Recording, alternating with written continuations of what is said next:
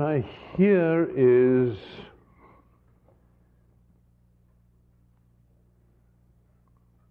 a question about ethics, yes? That if the hornets live an ethical system, I won't say they have an ethical system, but live an ethical system which has this pattern. It goes, uh, uh, uh, right? Uh, could one then say of the mm, total mammalian or vertebrate population of the animal park that its internal violence, who eats who when, is built into its, whatever the curve of its existence may be, whatever variable you want to plot on, on a time span, which is going to oscillate because that's how things work, after all. And that the real statement, therefore, about animal ethics, and let's not extend to the human being for the moment, the real statement about animal ethics is always to be comprised within time spans. That there are not acts which are labelable as lethal, lethal to species, immoral, bad, something of that kind. No judgmental point. Uh, because your ethics have always got to be thought of in terms of that curve.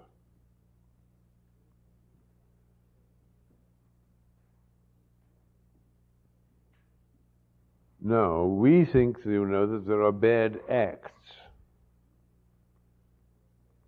And the, the audience can be shocked a bit about those worker hornets stealing candy from the babies.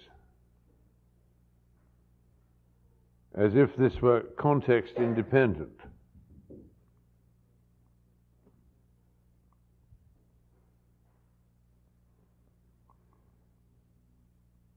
And that seems to be what we've done, is to breach the, um, the jigsaw pattern, pattern pieces, the separate fitting together pieces of the civilization and say, our rules are going to run right through, regardless of the context. Now, we do this, so to speak, before the law. Uh, within, say, religion, of course, we are very context sensitive. Uh, don't make a noise in the yard while people are meditating upstairs. Um, hundreds of things of this kind. Take off your shoes when you go into the zendo, uh, and so on.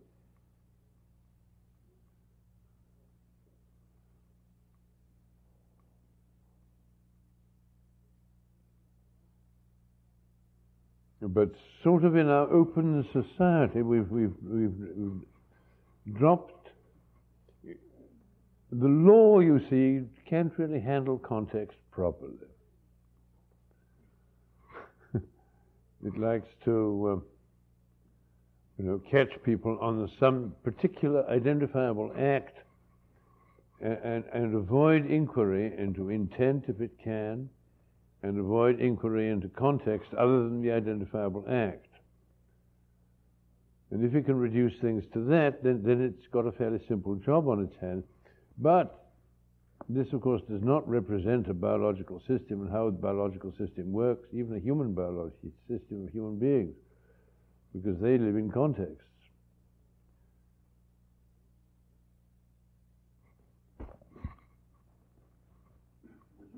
Care to comment on contextual, say, social ethics of the dolphins in regard to their own interpersonal relationships and also in their reaction to two predators, the shark and the human being, who both apparently would like to exterminate them or come close to on occasion.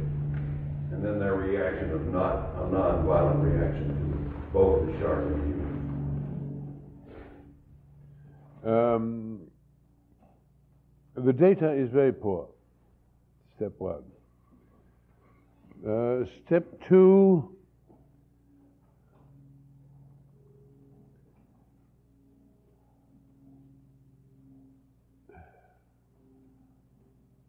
How should I say? They're very self-contained. I think that would be the word.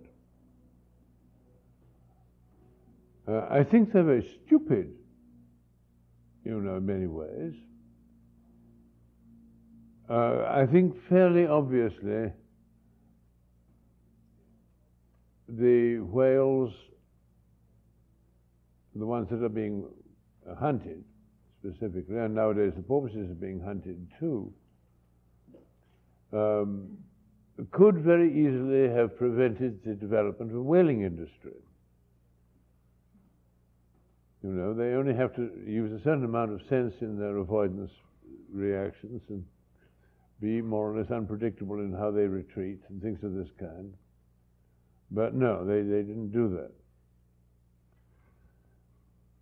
And they've let a whaling industry develop and still don't take reasonable precautions against whaling ships. Well, you, you can't have a why for why they don't do things. You only have a why for, for unexpected things they do do. Um, the ethics vis-a-vis human beings uh, if you get in the water with them this, this the, my feeling was that they take over a parental role vis-a-vis you. I mean, you, you, you, you go play with a dog or a cat you are on the whole in a parental or pack leading role, something of the kind, vis a vis the dog or the cat. If you get in the water with a porpoise, you are a child vis a vis the you're a filial relationship to the porpoise. Um, and there's a tendency, if he likes you, for him to sort of bend around you, as, as, a porpoise does around a baby porpoise. Uh, he will correct you, or she.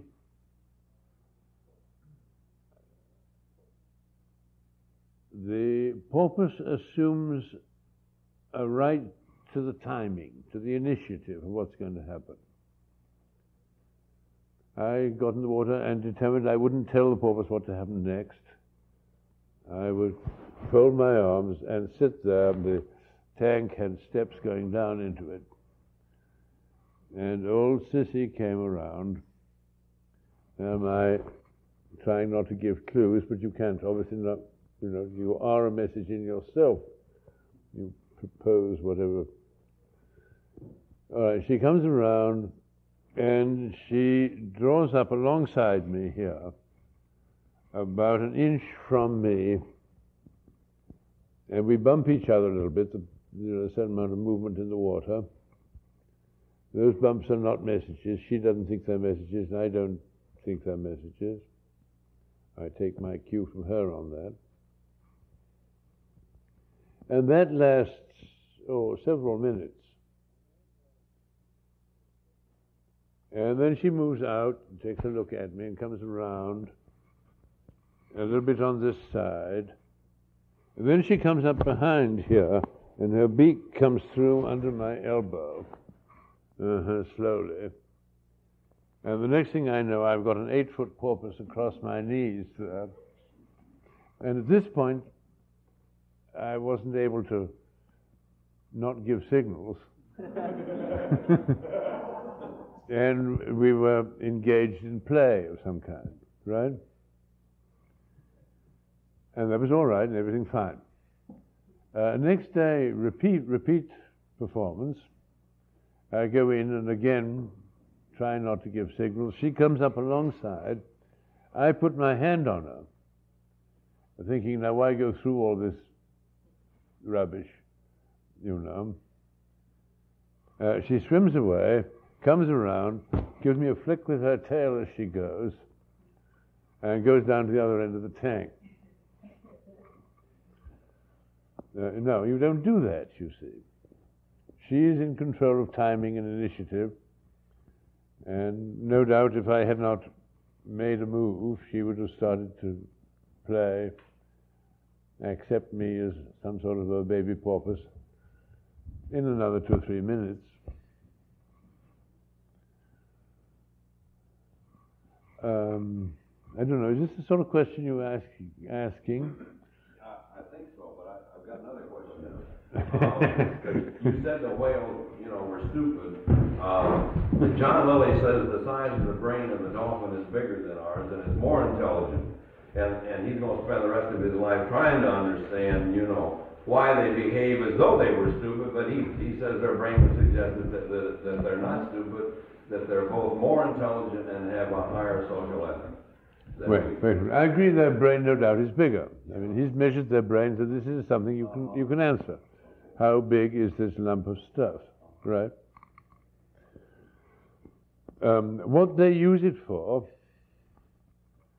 um, whether they use it, um, all those, these questions, I don't know the answer to. I would find it very hard to give a give evidence which would say that a dog, as a porpoise, is more intelligent or is as intelligent as Lassie. Right?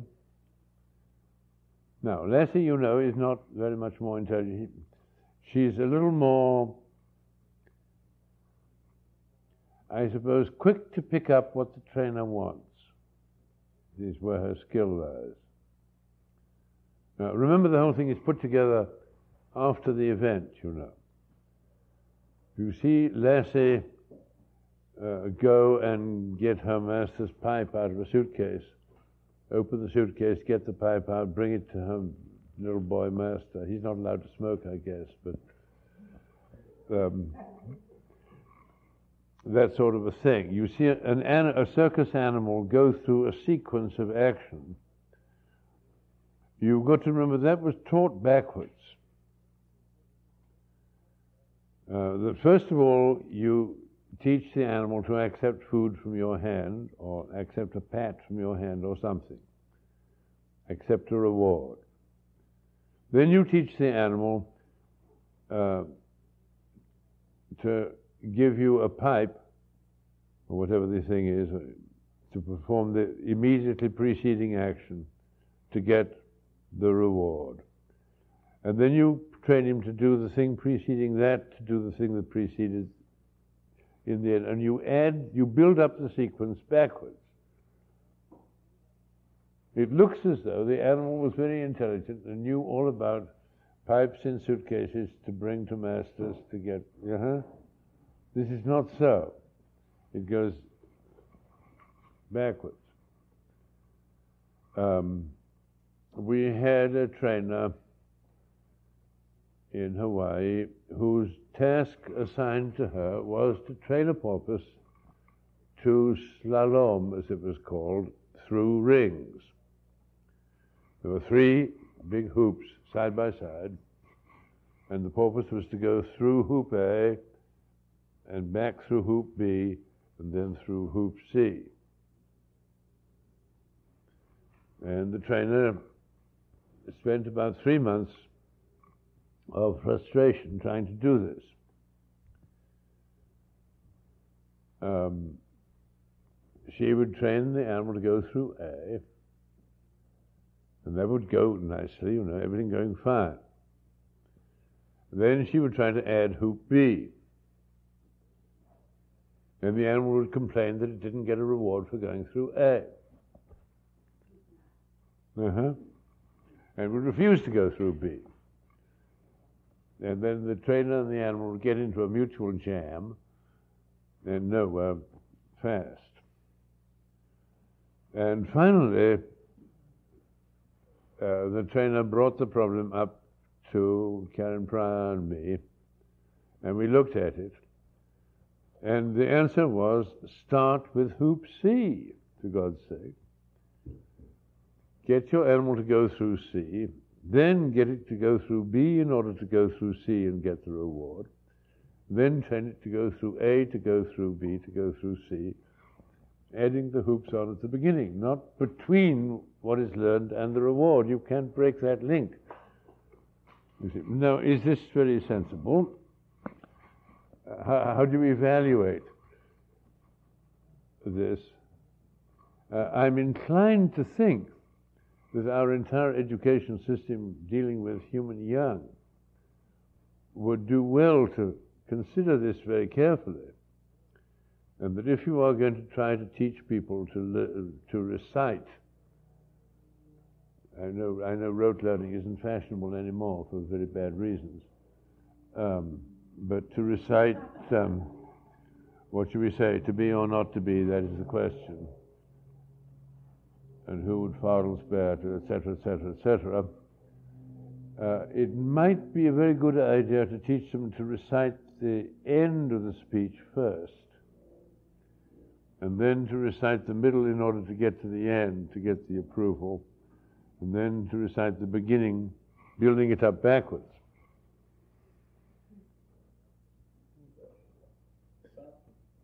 I, I spent few hours watching at uh, SeaWorld at San Diego. Yeah. The trainers working with the dolphins there.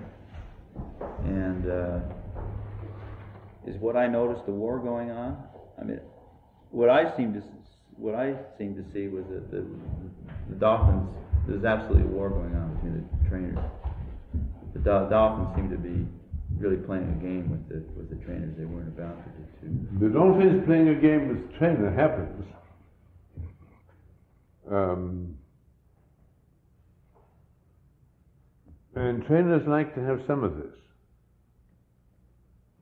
I mean, there's still a matter of how much you can train per training hour, and so on, so on, so on. Uh, and trainers vary very much. Uh, we had a professional dog trainer in Hawaii, a man who had been a professional dog trainer and was now a porpoise trainer. He was now chief of porpoise trainers. And we had a dog, and we had trouble with our dog going out on the road. We were afraid she'd get killed. Traffic. So I asked Husitz about this. What do I do? And he said, Well, uh, you won't tell me what I told you. And I said, Well, I'll be attending a meeting in Lindisfarne in a few years, and I propose to tell them all about it. Um, and I agreed I wouldn't tell, at least not around Sea Life Park. He said, All right, well, you get a leash and you put the dog on the leash. You get a belt and you say to the dog, you hold him with the leash and you say, No.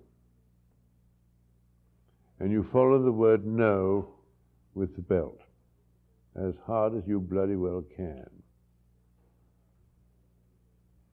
And then you say no again. And if he does not instantly um, go into a quiver at the word no, you belt him again. Until the word no is a complete negation as coming from you. Right. You then love him up and you take him for a walk around your grounds. And every moment he puts his nose anywhere near the boundary of where you don't want him to go beyond, you say no. You will never need to beat him again. From there on, you can control him with love. Now, you see, you don't see this side of animal training. This is not, even the VIPs when they visit are not shown these things. But there's always a tendency that way in animal training to establish an enormously strong relationship. And after that, to use all humanity. It seems like education. You put the kids in an institution and control them, and then you're very nice to them as good teachers. That's right. I want to ask you a question, Gregory, about not so much what you think, but how you think. and uh, live one. Mm-hmm. Hi, Sam. Thank you. You, you know, you've studied the Iatmul and porpoises and schizophrenic families and ethology generally. And it seems as a listener that you, um, you tell parables and you line them up and you're thinking in uh, perhaps what I'm clumsily trying to figure out is hieroglyphic thinking.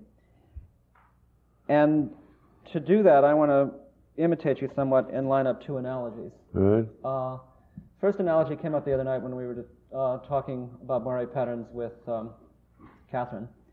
And I was saying the mystical process of enlightenment, to use a paradox, is a flashlight in search of darkness. And somehow or other, the flashlight learns that a flashlight in search of darkness is expelling what it's looking for and turns it off and then realizes that the darkness now is not only out there but in it. And there's a unity of knower and known. Um,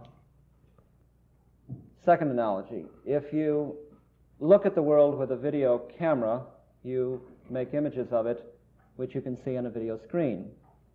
Maybe that's eye and brain. Uh, if you turn the video camera onto the video screen, you get a feedback pattern on the screen, which is interesting. If you have a place to stand outside to observe that it's interesting, you know, um, again, that goes back to the quotes in T.S. Eliot. Two of, when two of us are going down the road together, who is that third that always follows us, gilded in a brown, Mhm. you know, hooded in a brown robe? Uh, who is that other? The mystical process of enlightenment then is from the aphorisms of Patanjali: "Let the seer slay reality, and then slay the slayer." What is that other thing then is that is slaying the slayer? Now, those are the familiar ways in the mystical disciplines by which you realize that the brain is a reducing valve, that the central nervous system is constructed so that you're not living in reality, you're living and inhabiting your own descriptions of reality, and that the process of discovering the universe is a process of uncovering or letting go or unlearning or um, getting rid of the central nervous system. Now, if one is working at it not so much through mystical disciplines, I never got rid of my central nervous no, of course not. system. if one isn't observing, if one isn't going through these mystical disciplines, but is functioning as a epistemologist or a Western philosopher, and you turn the video camera back onto the video screen to get the feedback pattern, what do you see when you observe the way you think? And when you observe yourself making analogy after analogy after analogy, and you jump up to a meta level to see the isomorphic structures of all Mhm. those analogies.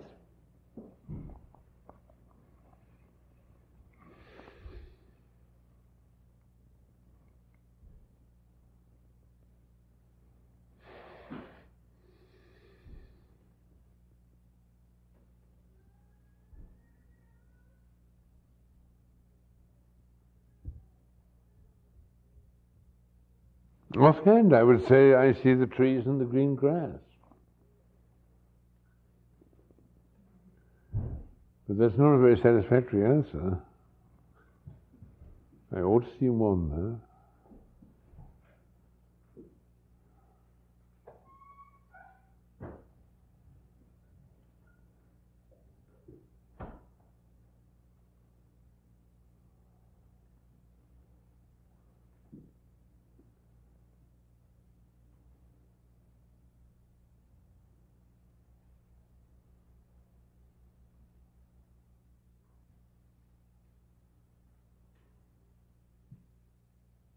Don't know. There, I, mean, eh,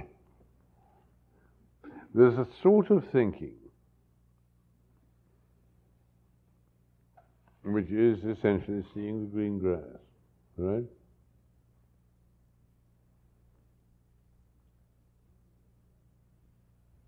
But then there's another, which one might do in bed or in the dark,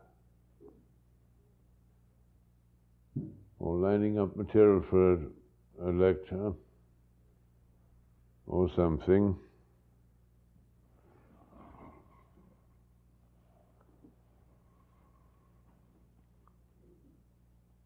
But then there's sort of lying in wait. One is sort of seeing the green grass. Uh, I'm thinking of an episode. We were in camp, Hmm, what, two weeks ago, with Nora and Vanny in the Redwoods. And Vanny said, Granddad, what's the color of the redwood inside where you can't see it?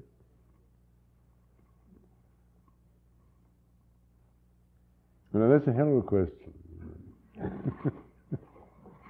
that's much better than um, Bishop Berkeley's problem about the tree that falls and doesn't make a sound. Is the has the wood got a color inside the tree? Um, all right, flash, right? Um, the girl with the Japanese, we practice respect, flash. Um, the wasp's nest I got from a, an, an ethological conference in Amsterdam, where they ran the film. Flash. I can't remember much else that was in that conference. Hell, what, what were they talking about? There were other things. Yeah, there was a nice thing about colonial spiders. Um,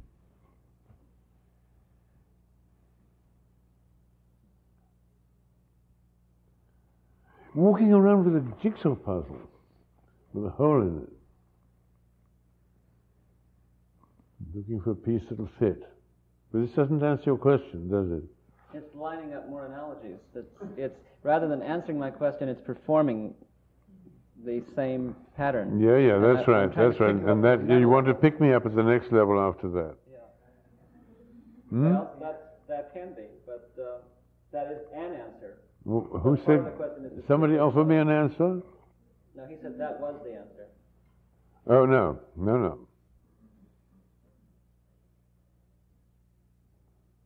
No, I decline, on the whole, at conscious levels, the answer that um,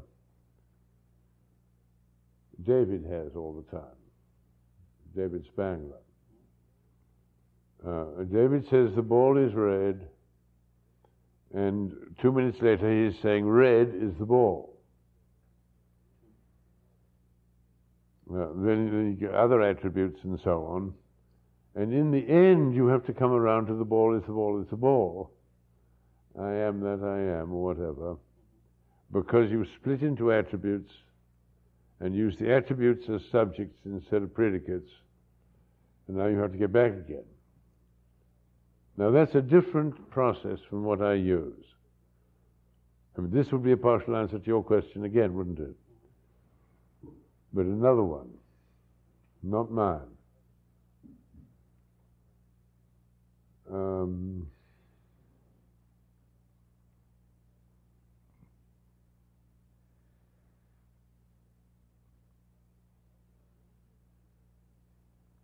language is a sort of um, top filter, top testing. Um, what do they call it in factories where the, the finished product has to go through a final testing before it's Quality control. Quality control, yeah, quality control, that's it. That's provided by language. Now, the actual steps by which analogies are caught and made is not linguistic. That's, that's diagrammatic in some way, vi- quasi-visual. Quasi-kinesthetic. Um, we had Krishnamurti, and I talked about his startle, fear component, his tips of the toes quality. That, that's very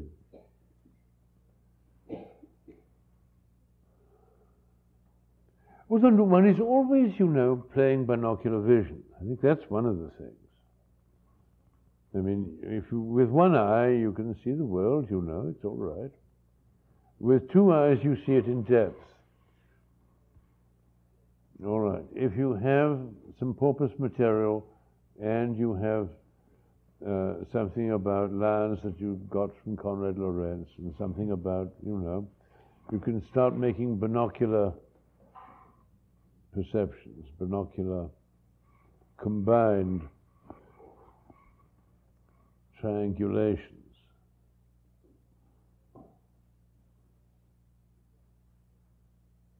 And two parables is better than one. Four parables is better than two, I guess.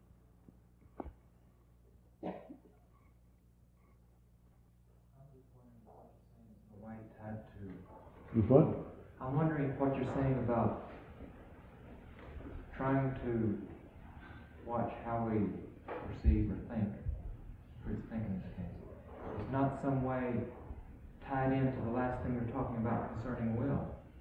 Because it struck me that will is not necessarily an aspect of character at all. Neither is it of the first level. You're actually creating a third aspect. And you, I felt you go in that direction. Do you have some? Yeah, I would agree with that. Excuse me? I would agree that you see something.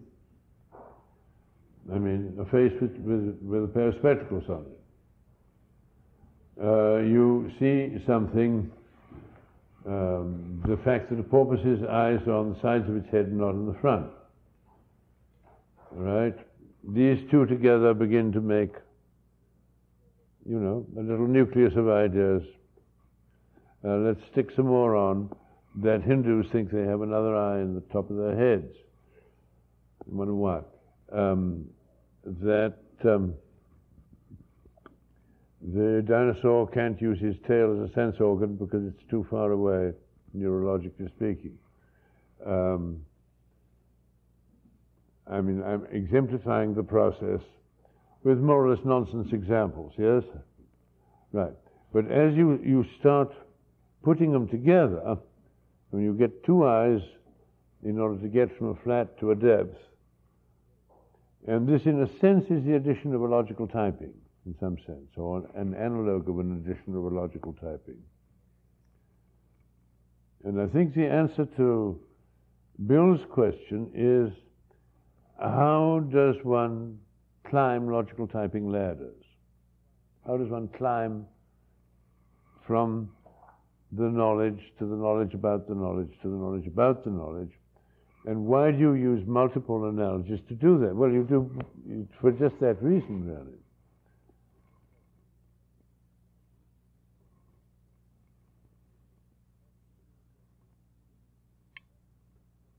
Because the leap isn't contained. The you see, uh, the the, uh, the thing you've got to not be caught in uh, is thinking that the piece of a pattern is a pattern. Thinking that the energy explains the pattern. Now, um, you see, the, the, the primary case right down at the bottom of the fundamental of the whole structure, is that all that you can see is, all that can enter your sensorium is news of a difference. You cannot have your sensorium entered by information about a state. A state. You are in principle like the frog in the saucepan. You know, he sat down in cold water in the saucepan. And somebody put the saucepan on the fire and very slowly warmed it. If they warmed it fast, he would be sensible, sensitive to the gradient and hop. If they warm it very slowly, There is no gradient to which he can respond which will tell him this is the moment to hop. He won't hop. He's like a chain without a weakest link. He doesn't know where to break. But this is, I mean, the spatial one is the chain without a weakest link, and the slowly changing gradient is the, the one over time. It doesn't define a moment, and therefore is not a stimulus.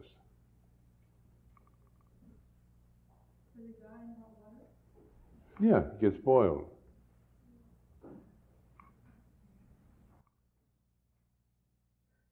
Huh?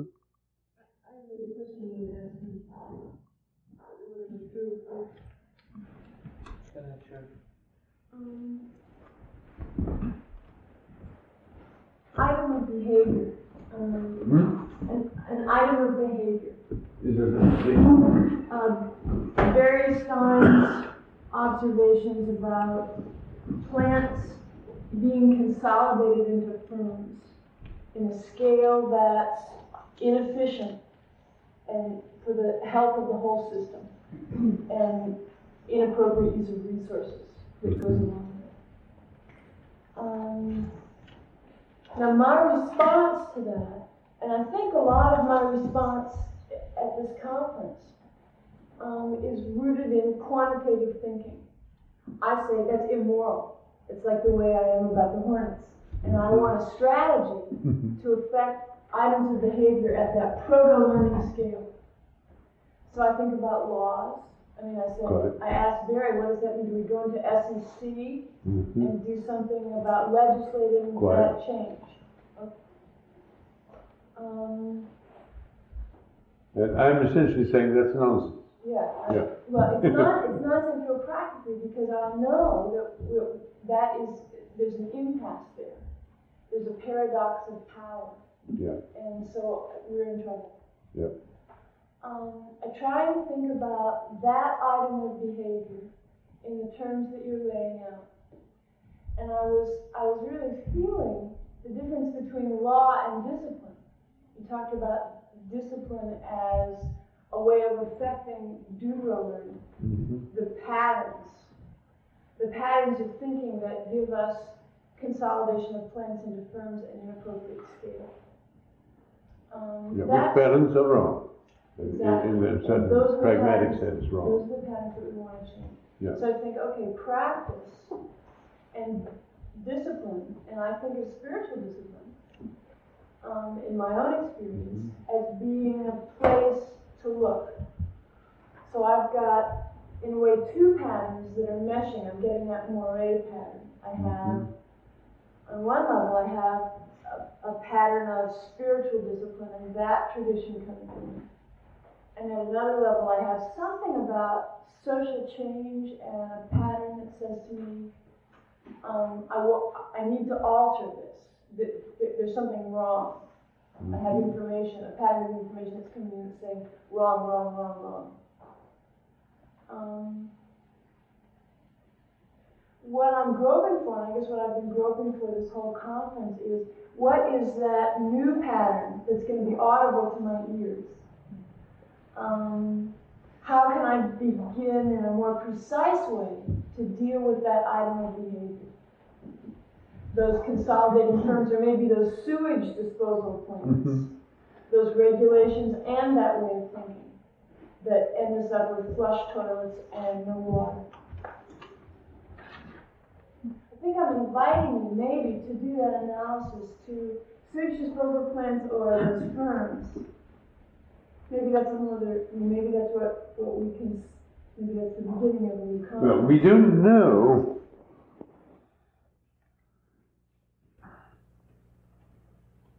I mean, obviously, every now and then, organisms make a, a jump of this kind. And you're talking about a jump. You're, you're stuck at a certain premise level, and you've got to make the jump to discover those aren't the only premises in the world. There are other possibilities. And you try all the alternatives at the lower level, and they won't work. But in general, you go on trying. If this one didn't work, Well, you'll try that one. Uh, that one. But now I've forgotten about that one, and I'll try that one again. And you go round and round the available alternatives at the lower level. Uh, you're asking for a recipe in terms of the lower level, which will carry you up to the upper level. Now, and that there's no answer to, you see. Because there isn't an answer at the lower level about how to get up to the upper level. Um, the only answers are, um, you know, meditate, uh, go for a swim, um, have a battle, um, uh, try a dose of LSD, um, whatever. And these are, these are none of them um, concerned with the immediate context. They, they shake the whole cage to see where you can get to, or relax the whole cage, or something. That's fine. And that's all, we, all as far as I know that you can be offered. That's a nice isomorph of my question. Hmm? That's an isomorph of my question. Yeah, yeah. How do you get to the meta level? You Fly, man. Charles? The old joke, um, uh, there's an old Swede joke, yump, and you'll make it in two yumps. Charles?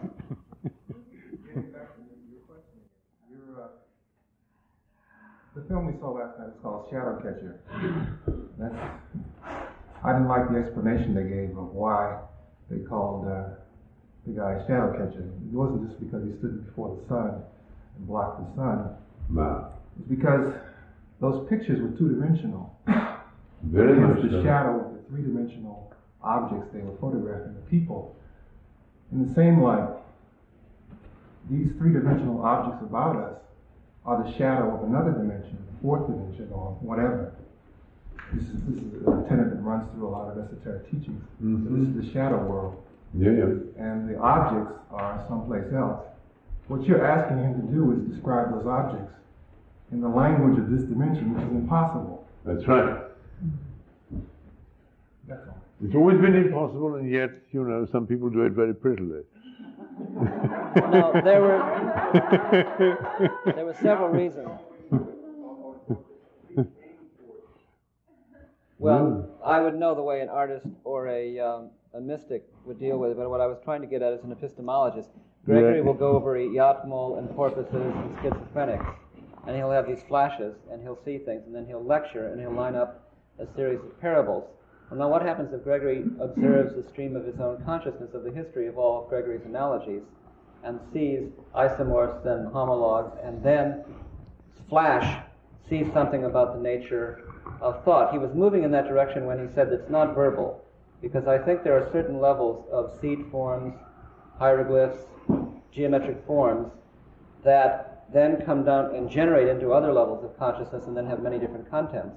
And in this case, you can even use, you can take energies from physics and use them metaphorically rather than quantitatively. For example, I can say, uh, Sri Aurobindo and the mother in a tantric relationship gener- generate the community of Auroville, and I can say that's analogous to two electrons in a Cooper twin relationship going through a, sup- a superconductor that holds the whole thing together and creates a single quantum state. Now that whole thing is using physics as a, as a hieroglyph, as a, as a metaphor, which has nothing to do with the quantitative aspects of superconductive theory. And it annoys physicists when I do this, you know, as Yeah. I've gotten into this with, with uh, Lewis here. Um, um, and so it, it seems to me it's an interesting question. What I'm asking is what is the nature of epistemological enlightenment? Because I think God can be realized in the body, Nijinsky, God can be realized in the heart, the Hopi, the Indians. God can be realized in the soul, which is basically the Asian path. But I also think God can be in, in, uh, experienced and embodied in the mind, which is something, because we're a mental culture, we no longer believe. And when faced with an epistemologist or a sage, I'm pushing him in a direction to that to see, in a sense, if he'll just take a meta, meta level jump in front of me and spin another analogy out. But I think it's going to take some more coffee cups and, and conversation, or maybe it'll take another 20 years, and like the uh, the Japanese analogy. yeah, they take time. Uh, what goes on during the time? I don't think there are differences. That's my, that, but that's a belief I have. Yeah. Yeah. But we all Uh, jump there and is dance something together. about though. time in this story. When we jump together, it's a dance. That's my answer to that. When we what? No, she said it's for me to jump and not for you, and I said when we all jump together, it's a dance. Ah, yeah. Virginia? When you're talking about world and that sensorium, the basic information, simply the difference that makes the difference. That's exactly what I want to get at. You can see a difference that others may not see. How do we, what distinguishes this? And I wonder, is it the focal awareness or peripheral? In other words, you look at borders and edges, appearance, uh, and that sort of, whereas if you concentrate on, con- on the content, you know, focus in, you may get certain things like Tad was describing, looking at more and more species. In other words, it's a concentrated thing. And maybe it gives you depth, depth of learning about what you're concentrating on. But peripheral awareness, where you, you, you phase in and then you become aware of other patterns. It's almost like Castaneda's way of difference between uh, looking and seeing. And I wondered, it seemed to me you were picking up on, I'm not sure whether this um, looking at edges gets you to another level, and then once you start that, uh, that brings in other things. Does this tie in with what you're? In other words, borders, edges, uh, comes as constitutes the difference for you as one of the elements, as one. I think I give a somewhat false picture of my own operations uh, because I don't know how to talk really, or don't talk enough about the lowest levels. Uh, for me, all this goes back to oh, uh, identifying beetles with a key, with a, a you know key of alternatives, uh, which is where I spent a great part of my childhood. Uh, now, of course, it's all nonsense. I mean, we all knew even then that such keys are in fact not the structure of the space through which the evolution of the beetles occurred. You get the idea? I mean, yes, the evolution was a was a tree of some kind, right? And and the the key for identifying them is a is a tree of alternatives. Is it like this? Is it like this? If it's like this, it's species A. If it's like this, well, then go on to page ten, where you get, you know, such and such another family and so on. Now, uh, what I don't really properly communicate is the amount of that sort of detail of one kind or another that I've sweated on, fooled around with, swallowed, and forgotten, you know, to a great extent. But it's been through there.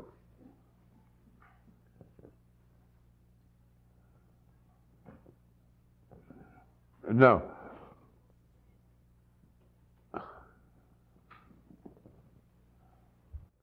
you only get another analogy. That's all you get, you know. But you know, last year you said the importance of rote learning was so that there was a sufficient amount so that these unconscious processes of, of insight can take place. And when you try to make knowledge Yeah, stimulating yeah. How and to feed, right away, feed, feed the furnace. yeah. Mhm. But if you're trying to be groovy and have insight immediately without context, then you're frustrating the process of discovery. That's true. That's true. One can say some things about how not to do it. Yeah. pursue the idea of context a little further. I think that's probably quite critical. Which one? Context. And uh, why in the West we seem to be blind to it. Since Joseph Needham has done a, did a comparison of Chinese law and Occidental law, in which he found that Chinese law was, they had no concept of law really. It was very particularistic, detailed, contextual. that Roman law was very abstract, general, and ended up in the Middle Ages with weird events such as pigs being tried for the murder of humans, and animals being tried in courts of law for abstract uh, legal situations. And I wonder what um, what sort of premises do you see behind this lack of contextual thinking? And what kind of view of the world do we have that unable to, we don't By lack of contextual- contextual, you mean sort of meta-contextual? Right.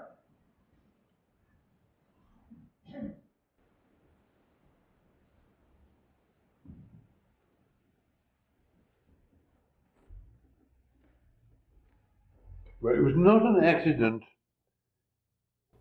that I built this up and went first to the aesthetic before I went to the uh, behavioral patterns.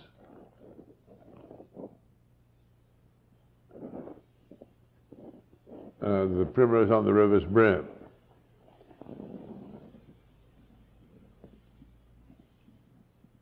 Now, that's one of my springboards. You ask what it's like. Well, it's again like a, a, a visual perception.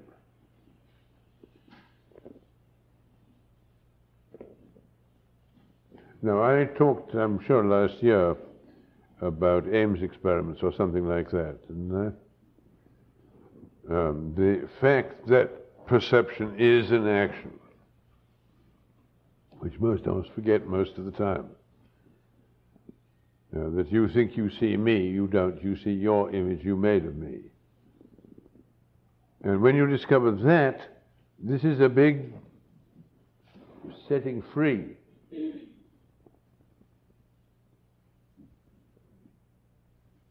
When you discover that all you have is maps, I mean, it's really nonsense to say the map is not the territory. The territory is a map too. you know, it's a map of a map, and a map of a map of a map. Louis? Oh, I sorry. just then wanted to bring up one other point. You were talking about these meta levels and so on. Uh, and you were just talking about the word time, sort of slipped out. The word. Time. Mm-hmm. Uh, I was thinking of uh, when we when we have our experience in three dimensions, and there's been a whole lot of stuff written, nonsense and otherwise, about the fourth dimension, and then fifth dimension, and so forth. and there have been some uh, rather simple books written. I guess for mo- many of us may be familiar with Abbott's Flatland, Yeah. in which you have, in which you imagine that you're a two-dimensional being, and you're trying to get some concept, which would be a meta concept of what the three-dimensional uh, Mhm. universe would be like. Yeah. And the interesting thing to me was that the, the an example cited, I think it was, I don't know whether it was cited by Abbott or by Ouspensky, by one of them who was interested in this kind of problem.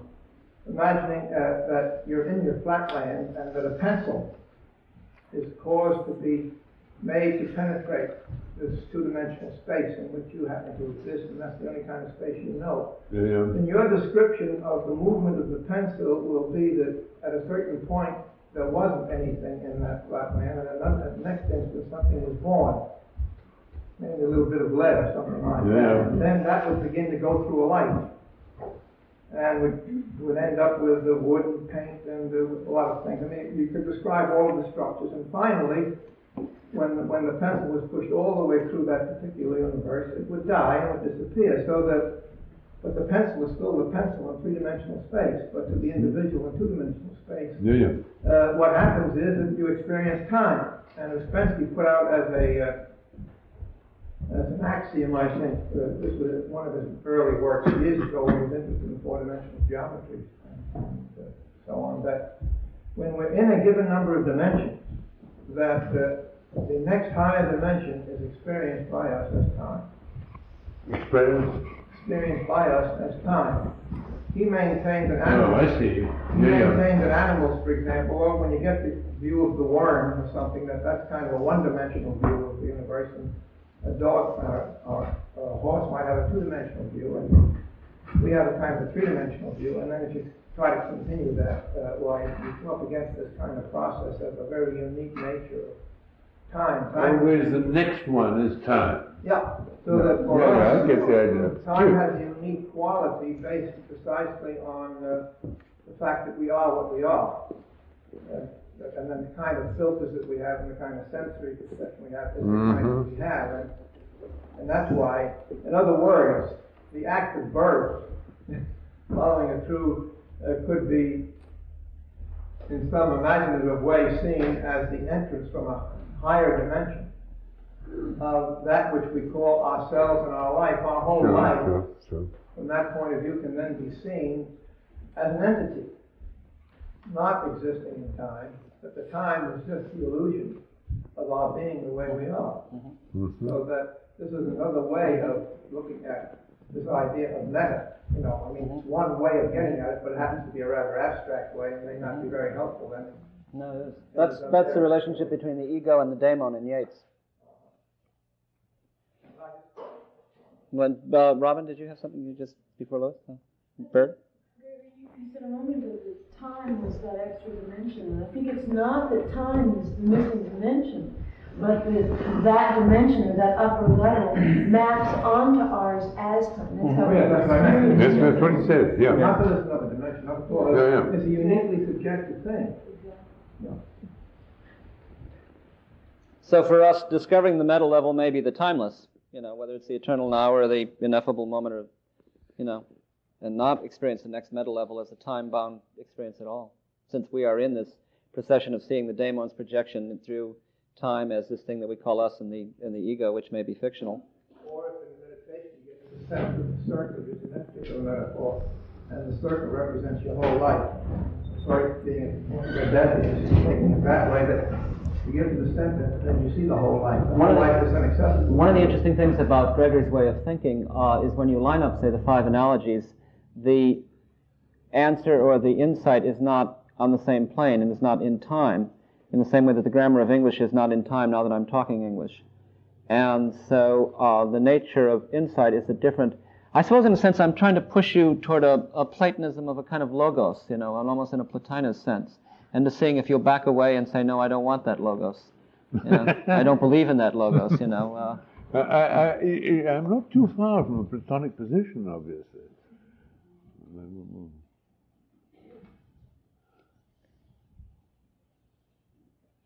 Because it seems to me if there is perce- there is events, and there is thinking about events, and there is thinking about thinking, or the structure of structures, then the meta level is the is the logos, which you know it becomes the structure of all possible structures, which is you know moving in a, in a theological direction as it's taken in Plotinus or you know the mystical West. Uh, uh, uh, I begin to see. Uh, if you read von Neumann's theory of games,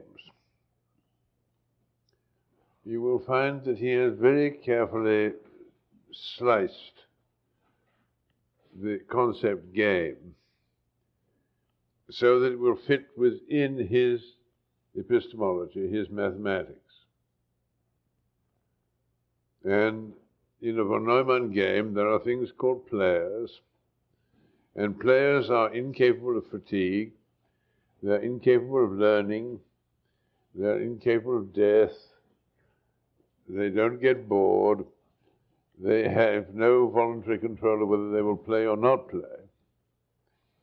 But they have built into them the entire mathematics necessary to solve the problems presented by that game. Right?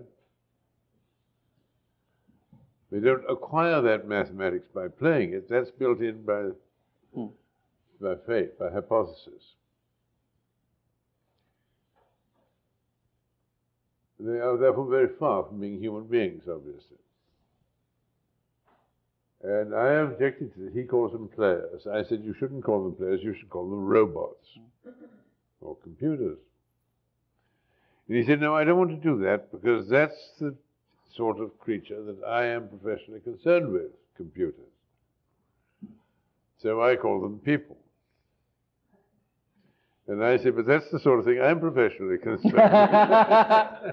you should call them robots. but anyhow, in order to make this whole business stay within the bounds of mathematics, or his mathematics, I don't know, but anyway, his mathematics, uh, he has to have a finite top to the number of levels. And the finite top is defined by the rules of the game and by the fact that the creatures don't learn and the rules don't change and there's no fatigue and so on. To have the players learn to play the game would have introduced another level of logical typing, do you see? Hmm. Or to have the rules of the game subject to change would introduce another level of logical typing. Now, I think preferentially, I won't say philosophically, but by preference, I don't really believe that we live within a finite ladder of logical types. That there is not the logos which cuts off at that point. Uh-huh. If, if there is a logos that cuts off at that point, then the whole thing can be computed out, and, and why worry? You see.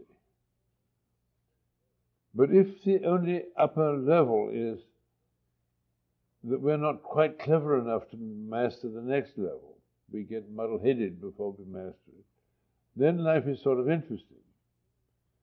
It's, you see, whether it's an infinite series or the series is longer than we can master doesn't make much difference, point of natural history. Yeah? Robin? I think what I was going to comment was that when you were saying when when one experiences that one's experience is subjective, and you said this is enormously freeing. It it also frees one in, into mystery, and this is where Sure. your categories of the mystic, the artist, the epistemologist, no longer hold, are, are no longer relevant, say, and they hold, but, um, and that perhaps is what you're calling as the, as the experience of the timeless. Mm-hmm. And that has no level, no, no top, no flat. Um, I, I, that was just the, I mean, that's, that's what I meant by that's for the question, I didn't mean you in particular, I meant that's for the mm-hmm. questioner to read. It, it can't be, another can't lead you there. Mm-hmm. It, it happened. Mhm.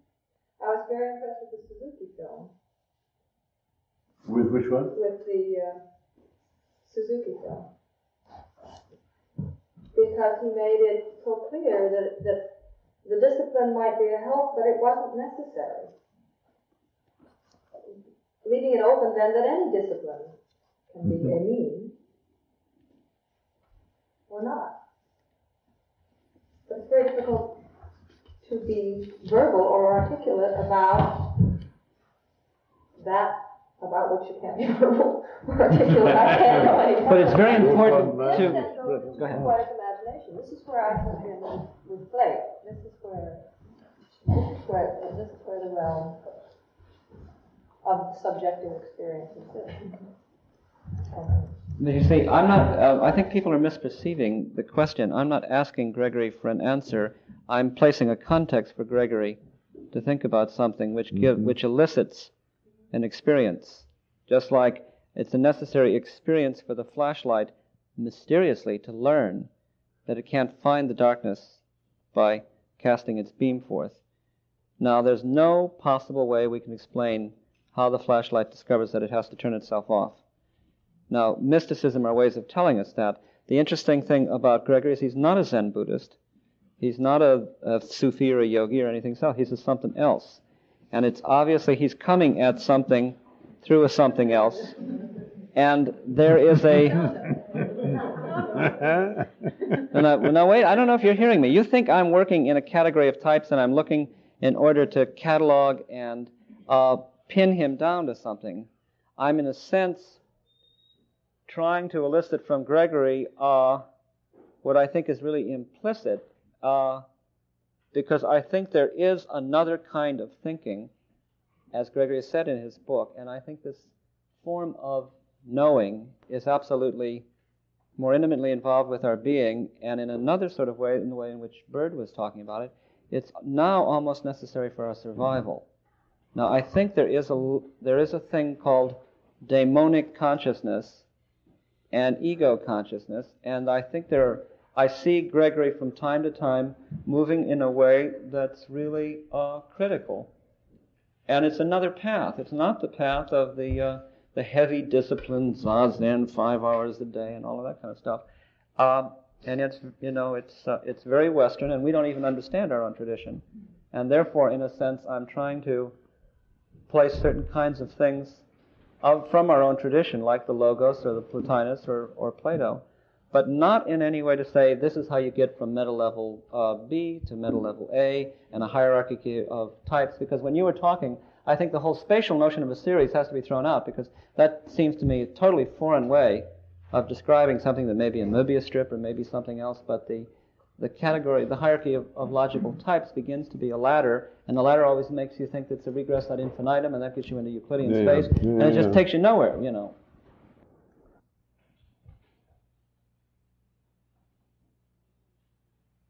I think an enormous amount. You see, the uh, each of these steps, if they be steps, however you, you want to take them, always depend upon a multitude of, would depend upon a class of examples. Not a single example, but a class of examples. Now, the class might only have one example in it, but that example has got to be handled as a class to make the jump. Uh, this is one of the very important points which he didn't touch at all. Um, I don't know, I was complaining at lunch yesterday somewhere uh, that the difficulty is people don't treat an example as an example. That is, they don't treat it as a member of a class. They treat it as itself. If you stuck it at the itself level, you, you don't know what the class, whether, where you can go to the next.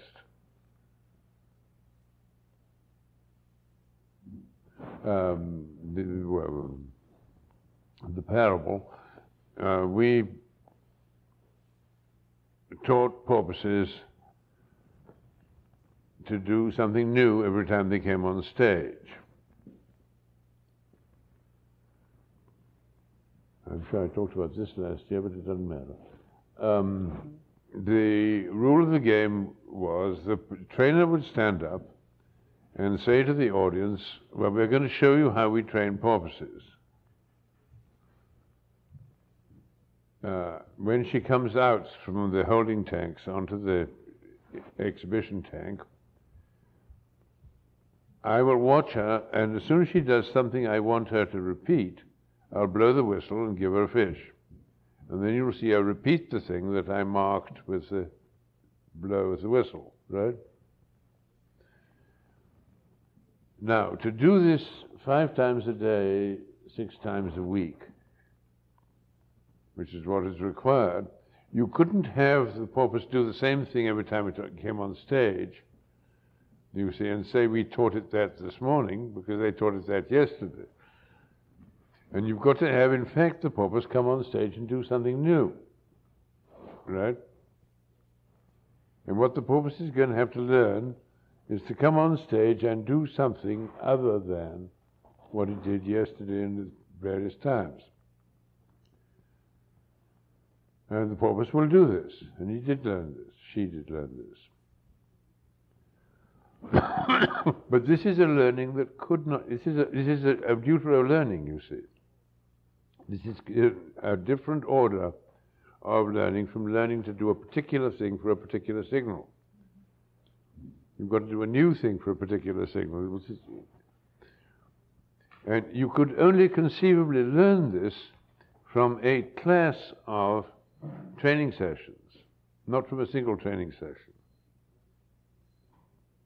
Now, we finally had the thing repeated, got a new porpoise, and what would happen would be that in the eighth session, say, the porpoise would spend two thirds of the session doing what she was rewarded for in the seventh. and then accidentally would do something new, quote, which the trainer could regard as new. The trainer would blow the whistle, reward that, and that would be repeated, and then repeated for two thirds of the next session, till again the thing broke. Right? But between the 14th and 15th session, the porpoise got enormously excited, splashing and jumping in the holding tanks. And when she came on for the 15th session, she did 12 new things, one after the other. Mm-hmm. But she couldn't do that, you see, without a class of training sessions to work with. A single one will never teach it. This is the demonstration that, in fact, we are moving up from a class to a class of classes, or from an item to a class. It is a logical type move in the, the technical Russellian sense.